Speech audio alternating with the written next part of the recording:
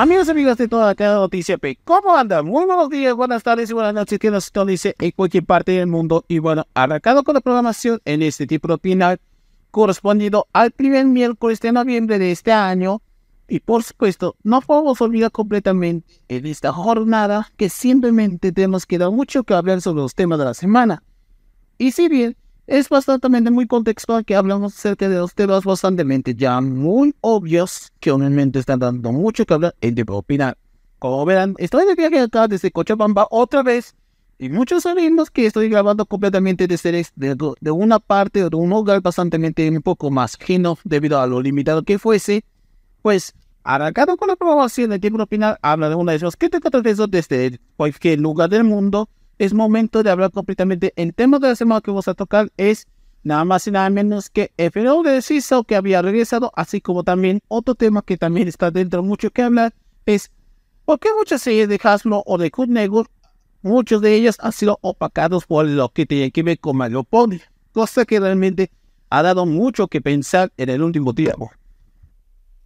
Y es por eso que esta semana vamos a arreglar con un tema bastante ya llamativo, pero al mismo tiempo muy poco serio que otras personas no entienden el por qué. Pero vamos a ir directamente hablando al respecto de lo que significaría.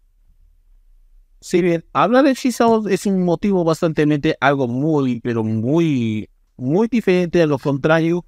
Como muchos sabemos, desde que 2010 llegó Mario Pony la máquina de a través de Conego y tras, tras lo posterior a Discovery Family, se ganó demasiada popularidad durante entre los años 2010 hasta mediados de 2016. Y realmente su popularidad sí estaba dando mucho que hablar, pero lo que todos sabemos que hasta llegar a 2016, puedo decir que estas series también pasaron no solo desapercibidos, sino también a conocer aún más que se debe por otras razones más ajenas ante muchos. Si bien a la hora de pensar completamente de estos shows, a pesar que Melopody se encuentre en su pleno ascenso, de los otros que han tenido también muchísimo más que hablar. Bueno, cinco. Recordemos que, claro, resalta que esa opinión, eso es válido bastante a mi opinión personal. Y por supuesto, sin contar los espinas de New Space Shot o alguno como cuestiones o cualquiera que tenga que ver con la franquicia de Transformers. No, deben ser series que fueron opacadas por la misma que ha sido aplazada por la dicha comunidad. Saben a lo que me refiero. Y por supuesto, nada tampoco de espinos, ni nada, porque esto vamos a comentar más a profundidad. Pero por qué se ha vuelto bastante raro en su tiempo. Si bien el primero que vamos a hablar completamente es el caso de Shizao. Bien, eso hace bastante algo muy innovador para su tiempo, pero al mismo tiempo generó alguna que otra polémica de ese estreno. Si bien Llegó en el año 2012 y fue emitido, si no me equivoco, por Copnego durante su tiempo.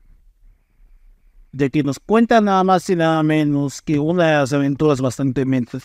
Algo muy recurrente es que te hizo. El contexto es de que Dai, un chico junto con su hermana Kei y su amigo, no sé cómo se llame, obviamente tenía que ir con diferentes desventuras. Pero la pregunta es, ¿cómo fue Shizao pues según lo que conté realmente en un piloto rechazado antes del diseño final, pues se trata de nada más y nada menos que un anillo que tenía realmente de su tía. Cuando ella murió, pues este anillo fue bastante que estuvo desaparecido por años hasta el momento, pero cuando se encontró en un ático o un sótano, pues este anillo estaba brillando, pero primeramente intentó con su hermana, pero no funcionó, pero cuando intentó por, por Kai, creo que se llama así, Intentó usarlo, pero de forma satírica, pero cuando los poderes se activaron, pues se transformó en CISO, con el objetivo es nada más y nada menos que luchar contra el mal a través de poderes femeninos, cosa que realmente pues calificaban muchos como el primer superhéroe o superhéroe de tipo femboy, puedo decir, o primer héroe tipo femboy, si hablo de la cultura de los fanboys. Próximamente eso voy a hablar respecto de qué significó este fenómeno que ganó obviamente importancia, pero al mismo tiempo un tabú que nunca ha sido hablado. Y debo decir que los fanboys, o como dicen hoy en día, trapitos, fue la razón principal de su primicia. Si bien hablar de Shizao es lo único que no puedo decir, que esa serie contó con 26 episodios y una sola temporada que se estrenó, con podido realmente de cómo es 13 episodios, es decir, 26 en total, 13 de ellos son en forma de segmentos o bloques. A decir verdad, realmente esta premisa puede ser, el concepto es interesante, el diseño de luces es algo un poco decente, lo único malo es la comedia y al mismo tiempo la trama de que no se trataría, teniendo villanos un poco genéricos, así como tramas bastante absurdas. Digo, ¿por qué realmente ven realmente esa cosa? Te lo explico realmente y voy a dar una pequeña anécdota. Si ven, hablar de esto me hizo recordar un tiempo, hace no sé, mucho tiempo, hace muchos años, sí compré realmente un DVD realmente con respecto a lo que estamos hablando pues he visto realmente el capítulo y me resulta que es algo interesante al principio. Pero al notar realmente suena como que obviamente las producciones australianas y tipo, bueno, combinado con lo canadiense, no era realmente mi agrado porque realmente sabemos cómo terminan realmente las animaciones canadienses australianas de forma colaborativa, pero empeoraría no solo la calidad, sino también la trama misma. Y resulta que eso no será la primera y la última. Pero también hay otras cosas que también ya han sido muy cuestionadas, eran porque muchos conservadores de origen australiano, en especial anglicanos, habían criticado completamente ese show. Scott Bray, uno de los estadounidenses operadores del mismo, había aclarado completamente que es una serie bastante muy adelantada a su tiempo, pero intentaba fundarlo, pero no, se salvó completamente, pero la serie siguió funcionando pero la cadena australiana y canadiense optaron por cancelarla, pero también llegó a influenciarse posteriormente en Estados Unidos, emitiendo por Hot Network y así obviamente tuvo que merecer popularmente, pero fue cancelada. A la fecha de la misma, 11 años después de su emisión original, pues resulta que Shizao volvió a la vida, pero exactamente con otro formato o con otro concepto más diferente de lo acostumbrado. Y me pregunto es, ¿Cómo regresó a la vida Shizou si ya han pasado tantos años que estaba enterrado en el olvido?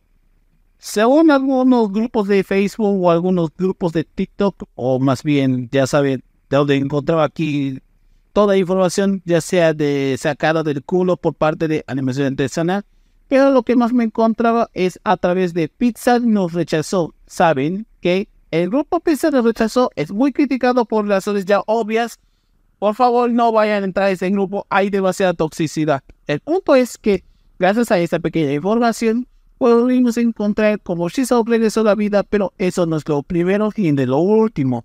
Al parecer, ha vuelto a YouTube exactamente con capítulos ya doblados en español. Y de hecho, algo que quiero resaltar, que es una pequeña curiosidad, y no cabe duda que eso me mató un poquito de risa, es como uno de los hijos de la familia Orozco, hablo de Luis Fernando, es conocido por ser la voz de Hitch en la generación 5, doblaría ese dicho personaje.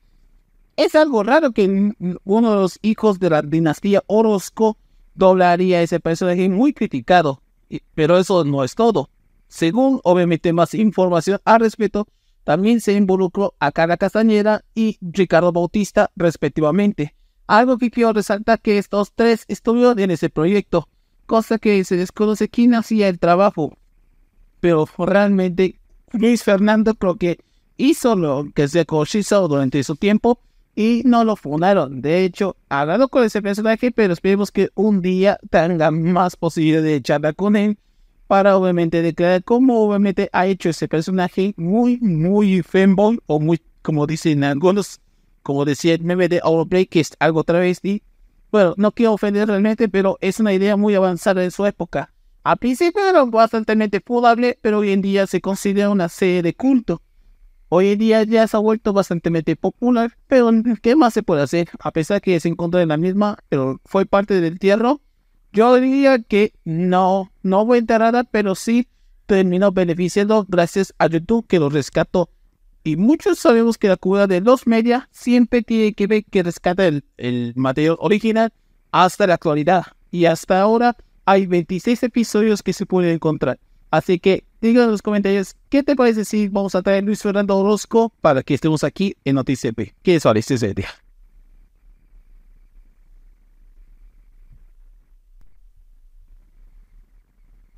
Si hablamos de opacados, pues hay uno muy específico que todos conocemos.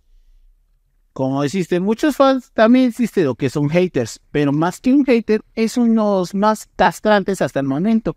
pero si, si llegó en la época de MP durante estos años, pues sí tienen mucho más que hablar, mientras que el público femenino o el público brody poco a poco comenzó a establecerse, pues del otro lado del charco tienen mucho cuestionamiento. Y estamos hablando de otra serie que también fue cancelada o enterrada por la misma. Estamos hablando de, Dan con Dan versus, lo que se llama así de esa serie. Una de las series que más generó muchísima popularidad y al mismo tiempo una controversia por parte del fandom de EP. Pero la pregunta realmente es, ¿cómo terminó de forma tan abrupta si era un éxito un poco más sólido? Y eso le preguntamos a cualquiera, el por qué. Si bien Dan contra todo el mundo fue una de las razones que fue popular en su tiempo, pero tuvo que ver con lo que opacado como el Pony de forma tan general, pero la pregunta realmente es, si esto fue atrayente, pero ¿por qué la gente nunca lo reconocieron o nunca tuvieron que hablar, o al menos de los casos, ¿por qué no lo tomaron muchísima importancia? Fácil y sencillo, la mercadotecnia fue lo que arruinó que Dan contra todo el mundo fue una de las razones exitosas que fue en Estados Unidos, pero para Hispanoamérica, sí, para, nuestra lengua, todavía no fue muy apegado. Y eso se debía porque Dan conoce obviamente al odio de todo el mundo.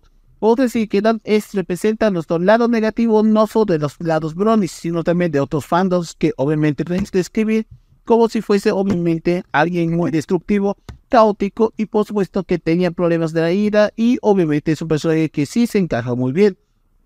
Para los fans, por lo tanto, Dan sí fue utilizado realmente, pero para en contenidos bronies y realmente fue utilizado entre los años 2010 a 2013, lo cual resulta que obviamente sí fue bien usado, pero lastimosamente fue opacado de forma tan atroz durante su tiempo, pero cuando se trata de derechos de emisión fue brutal. Mientras que Dan se emitió tipo 4 o 5 de la tarde en Estados Unidos, MP se emitió a las 5 o 6 de la tarde también de forma diferente, pero se emite más en horario de la mañana, también por competencia, y resulta fue la razón principal de dónde surgió esta controversia. La única cosa que quieren realmente es vengarse de todo aquel que lo fastidia y de forma muy conspiranoica en su contra. Si bien hasta el momento es una serie que a muchos se considera una serie de culto, también otro motivo más si bien su serie sí era muy populenta, pero fue opacado, como dijimos, como EP. Hasta el momento solo estrenan algunos capítulos en tan solo dos años y única temporada. Parece que los enteró por completo, pero al menos valió la pena opinando a lo que fue una franquicia que pasó desapercibido.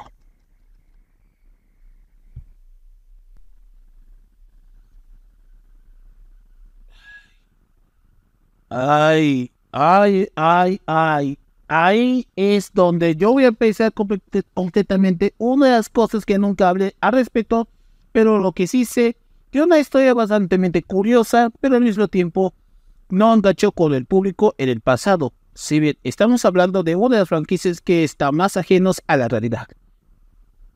No sé por dónde empezar. El despacho intentó ser cautivado con el público durante años, en especial a finales de los noventas.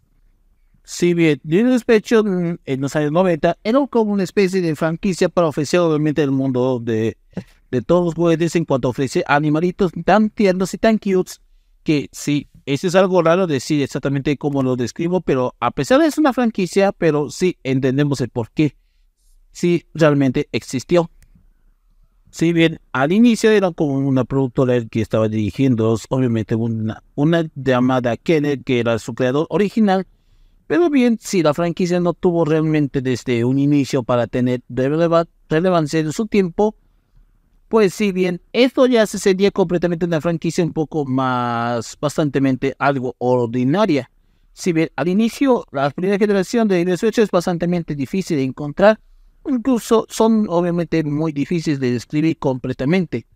Pero si bien a la llegada de Hasbro en los 2000 todo cambiaría de golpe gracias obviamente a un cambio no digo drástico sino algo perspectivo que incluso que incluso a la posteridad se convertiría en un fenómeno. Más bien, sí tuvo un alcance bastante algo peculiar, pero realmente con la llegada de Hasbro y con la compra de Credit junto con Tomcat inició completamente el cambio radical a partir de ese entonces, solo los fechos se basaban más en mascotas adorables. Y todo estaba bastante bien con la compra y tras la fusión posterior. Sin embargo, algo notaba completamente esta presencia de no solo con diferentes cambios o diferentes cosas, y él luego terminaría, sino que también comenzó a expandirse aún más lejos de la misma. Si bien, una cosa que llamó la atención, esto ocurrió entre 2009 y 2010, aunque no existía piloto claro, pero sí una, una especie de línea de colección cambió la historia obviamente para dicho fandom.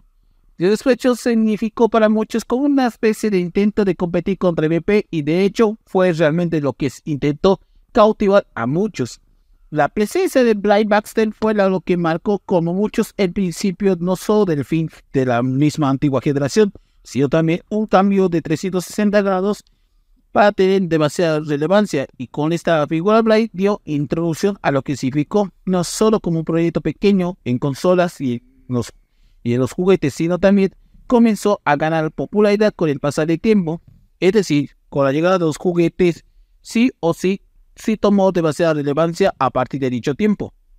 Realmente no digo de broma, literalmente es lo que realmente en el despecho en ese año 2012 podemos conocer a Blay Baxter, que después de sus años obviamente en la antigua escuela, tuvo que mudarse a Ciudad Central con el objetivo completamente para buscar su nueva vida, pero mientras se topaba con toda una tienda de mascotas que estaba al borde de bancarrota debido a que no tenía con qué lidiar, sí, y tuvo que iniciar completamente un, ya que Bray, al tener completamente que su vida es ordinaria y normal, pues obtuvo unos poderes bastante algo raros, y es comunicar con los animales. Cosa que realmente su poder fue lo que más llamó la atención justamente en ese tiempo, y pudo captar cómo realmente las mascotas pueden hablar.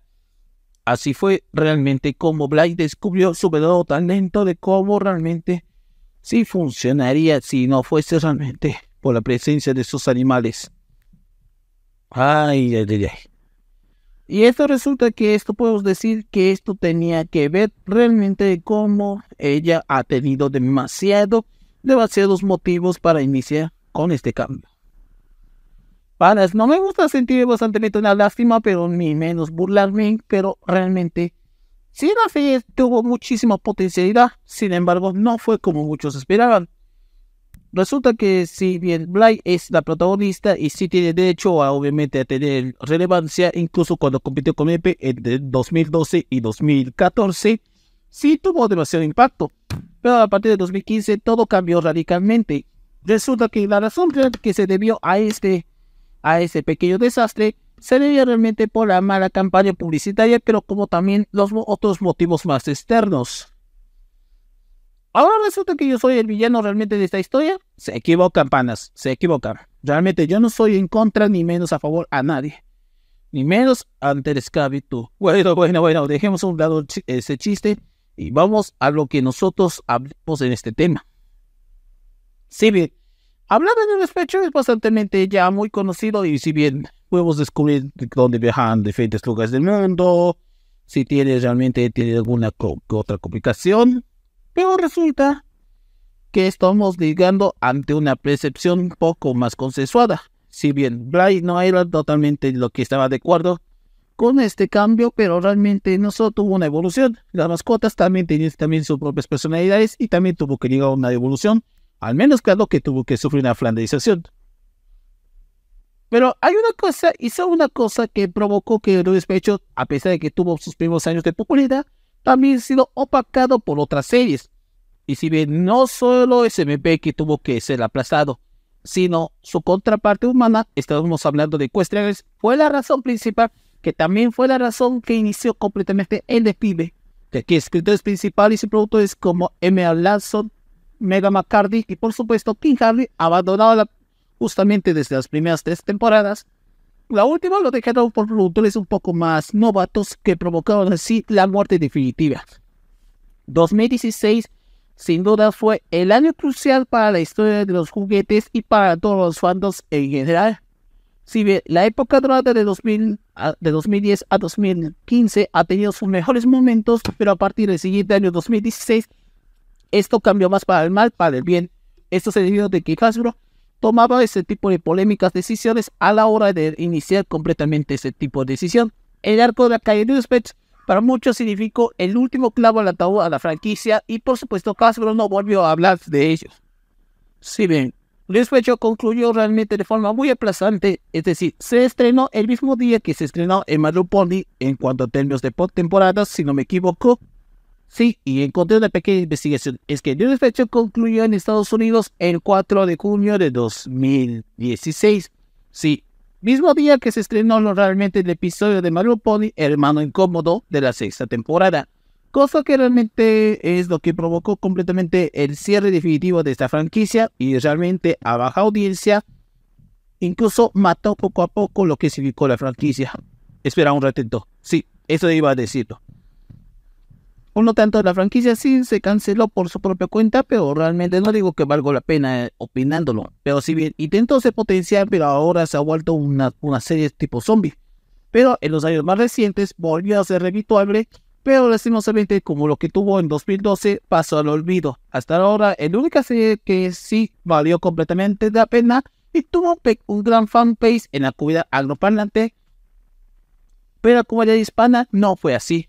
Incluso los actores de doblaje latinos sí han terminado siendo muy beneficiados, incluso comenzaron sus carreras en solitario.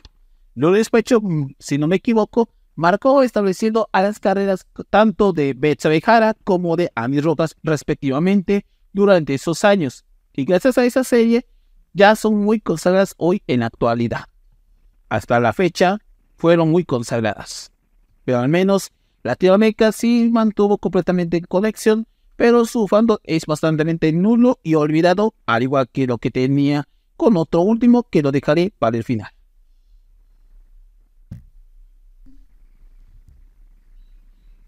Y para concluir completamente el último tema de, la, de esta ocasión, hablamos de unos fandoms bastante igualmente olvidados que lo que dije en el tercer punto. Hay que hablar de un último, que es lo último de lo último para cerrar la década de 2010 e iniciando la década de 2020. Hablamos de Hanazuki. Si ven, esta serie al inicio tenía potencial, pero me pregunto es, ¿qué estaba ocurriendo cuando el estaba al borde de la cancelación? Y lo mismo pasa con cuestiones que pasaría desapercibido, que también fue cancelada de forma igualmente simultánea. Esto significó dos tiros de un solo, dos pájaros de un solo tiro, iba a decir realmente este dicho, pero Hanazuki fue el tercero que cayó de forma misteriosa. Pero la pregunta es, ¿por qué?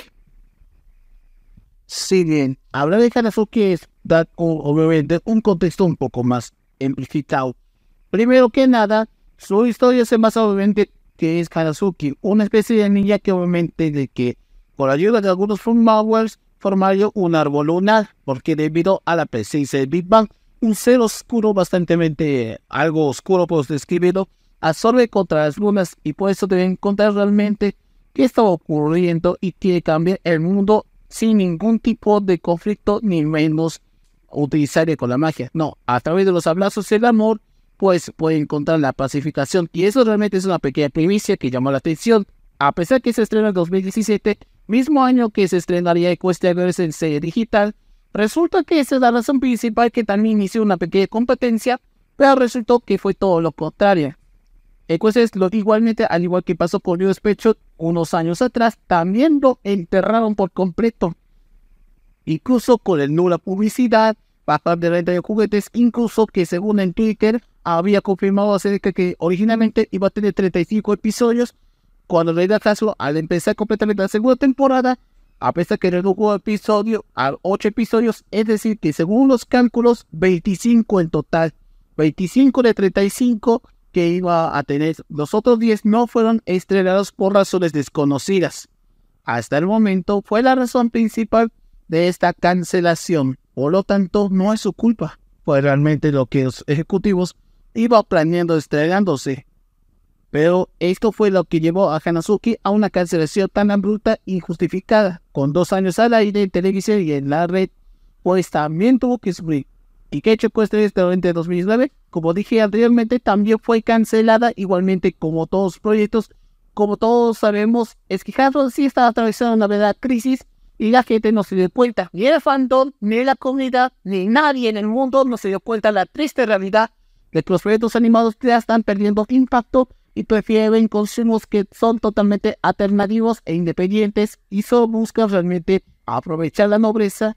Pero este sería el último que concluimos en este programa, cómo fue realmente que todas ellas fueron opacadas por una sola cosa y solo una cosa, su consentido favorito que llevó al borde de la crisis. Y solo puedo decir que BP fue la causa principal que todos los proyectos desde 2010 hasta la fecha tenía más problemas que más que tener potencial con otros. Y es por eso que el profesor también fue responsable y lo mismo con Discovery Family o con Network, que no tomaba esas polémicas decisiones de cancelar sin previo aviso y con una reducción de episodios y demás cosas, conllevando así al borde de lo que significó un desenlace sin sentido común.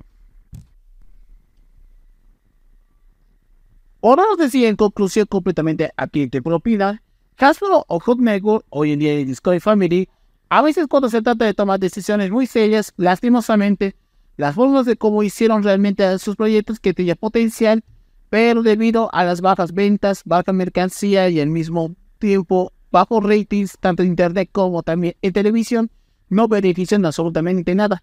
Sin, incluyendo, podemos decir que también ha tenido pequeñas controversias desatadas, pero lo que muchos sabemos que más lo pone ha tenido un arrasado éxito, pero fue la misma quien provocó que la caída de Hasbro poco a poco ya está dando mucho en cuenta desde a partir de 2016 para abajo, incluso tiempo antes.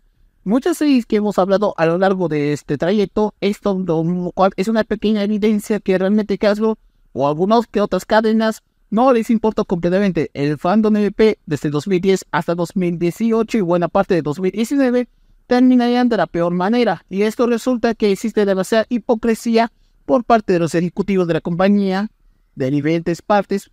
Esto porque antes eran bastante únicos para, para cambiar un poquito la radicación, lo que significó el mundo de la animación hasta el momento. Mucha gente que muchos que esto marcaría el principio de fin, a la gente no le importó, pero algunos se considera de culto por una que otra razón aparentemente extraña. Así que el fenómeno cambió completamente el mapa y puedo decir que estas series, si no hubieran sido canceladas ya sea a tiempo por bajos ratings o bajas ventas o no tuvo demasiado impacto, pues realmente debió agradecer por dar su pequeño impulso o sus pequeños minutos de fama cosa que realmente no tuvo muchísima proporción.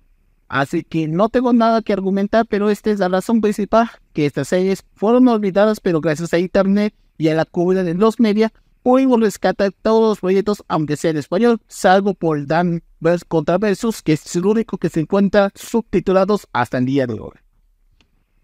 Puedo decir que este proyecto que hemos hablado a lo largo de este programa eran únicos para tener demasiada relevancia, pero hoy en día se fue al cada show con el tiempo. Así que muchas gracias MVP de la G4 por matarme un poquito a poco esas series que eran potenciales a lo largo de otros años, solo por un pequeño capricho o un pequeño nepotismo que la propia Hasbro o, o incluso cualquier canal intentaba tumbarles por completo todo lo que significó este entierro masificado. Y bueno, panas, hasta aquí concluimos este tiempo de opinar de esta semana. Si les gustó, dan like, comparte y suscriba para que no se pierdan nuevo episodio de aquí cada miércoles a la misma hora. Y por supuesto, el año próximo, si no me equivoco, podemos retornar a nuestro habitual horario antiguo. Pero esto sería muy complicado. Eso lo vamos a depender, sin más que decir, de los críticos de aunque estoy aquí de viaje. Y nos encontramos una vez más hasta la otra semana. Y antes de nada, sígueme en mi canal principal y por supuesto en mis redes sociales así como igualmente sigas igualmente las noticias de forma simultánea. Muchas gracias por acompañarnos, nos vemos hasta otra con más. Saludos y buenas noches, permiso. Hasta la otra.